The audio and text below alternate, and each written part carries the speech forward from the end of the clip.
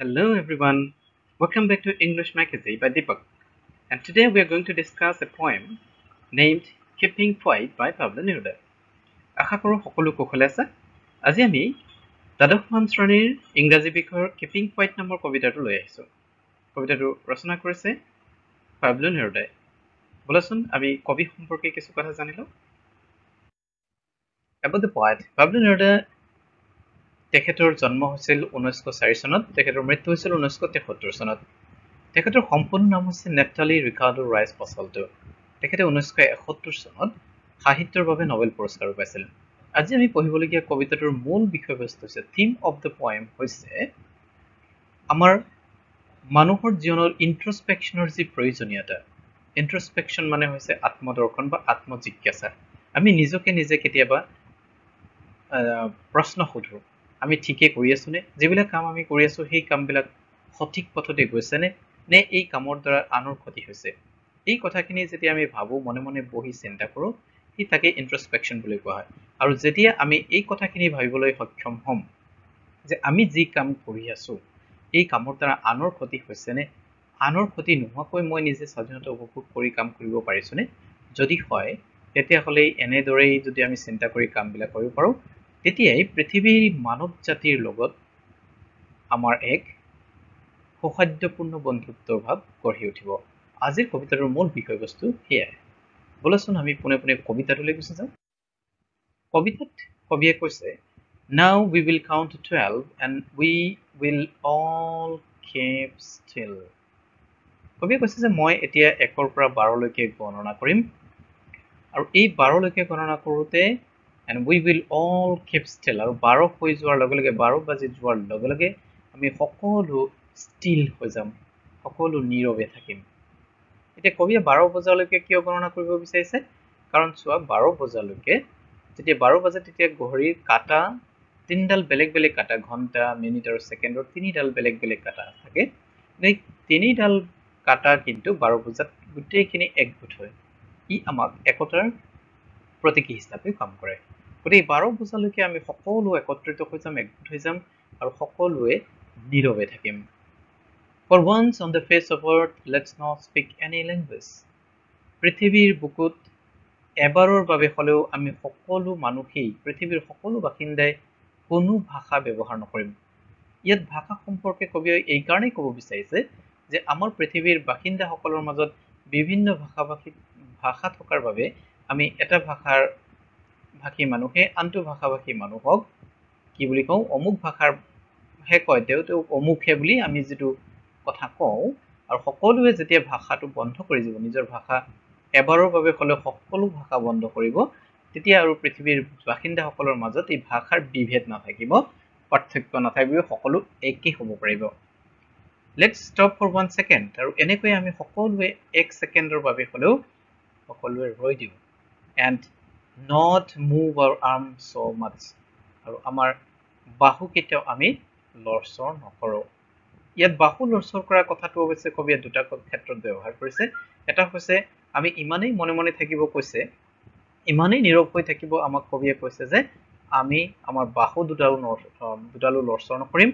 নাইবা ইয়াত কবিয়ে আৰু এটা প্ৰতীকী হিচাপে ব্যৱহাৰ কৰিব বিচাৰিছে যে আৰ্ম শব্দটোৱে আন এটা অৰ্থ প্ৰকাশ কৰা হৈছে ফায়াৰ আৰ্ম নাইবা গোলাবাৰুদ।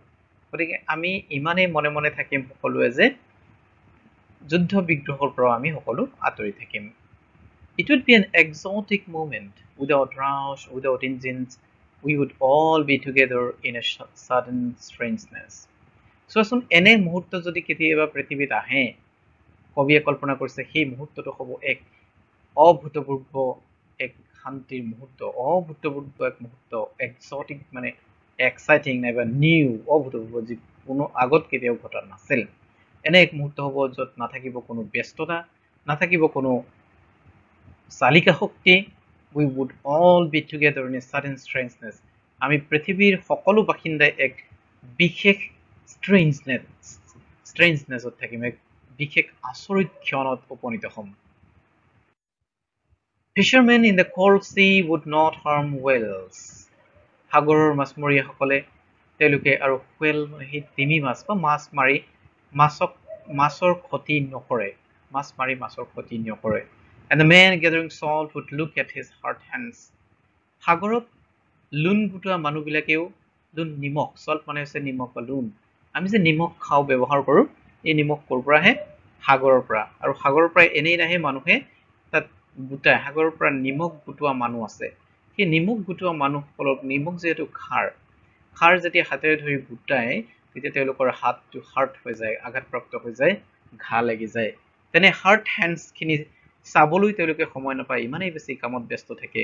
গতিকে যদি আমি মুহূৰ্তৰ বাবে হ'লেও এক মুহূৰ্তৰ বাবে হ'লেও সকলো মানুহে নিৰোষ হৈ যাওঁ কামৰ পৰা অকণমান আঁতৰি আহি নিজৰ ইণ্ট্ৰস্পেক্ট কৰোঁ তেতিয়া আমি কি কৰোঁ সেই চল গেডাৰিং মানুহসকলেও নিজৰ হাত দুখনলৈ চাই যে এই দুখন ইমান আঘাতপ্ৰাপ্ত হৈ আছে ইমান হাতত আঘাত হৈছে বা ঘাঁ লাগিছে এইখিনি কথাও চাবলৈ এক সুবিধা পাব Those who prepare grain wars, wars with gas, wars with fire, victory with no survivors.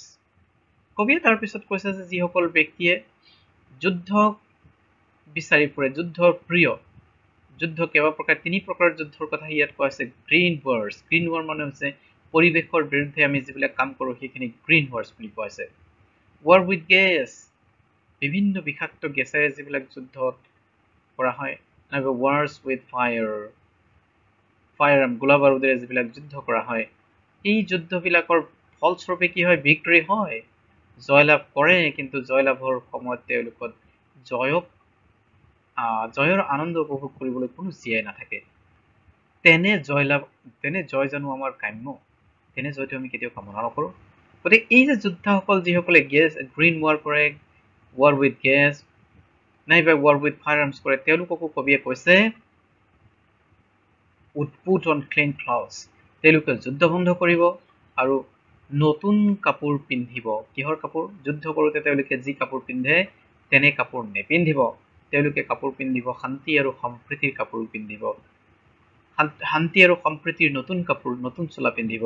And walk all about with their brothers আৰু এই যে এতিয়া চোৱাচোন যুদ্ধৰ পৰিৱেশত তেওঁলোক শত্ৰু দুই পক্ষ শত্ৰু নহয় জানো?